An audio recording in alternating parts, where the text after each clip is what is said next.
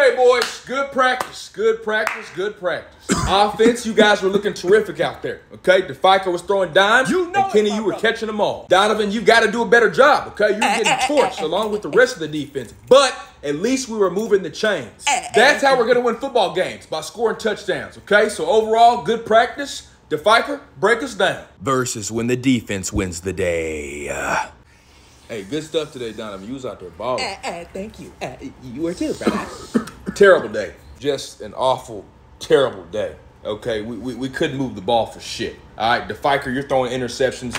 Donovan's catching them. I mean, how many passes were dropped on air, coach? Uh, uh 15, 15. 15. That that's ridiculous. Not a good day, guys. Okay, the defense was all over us, and, and you know what? Everybody's running. Yeah, everybody's running. Get on the line.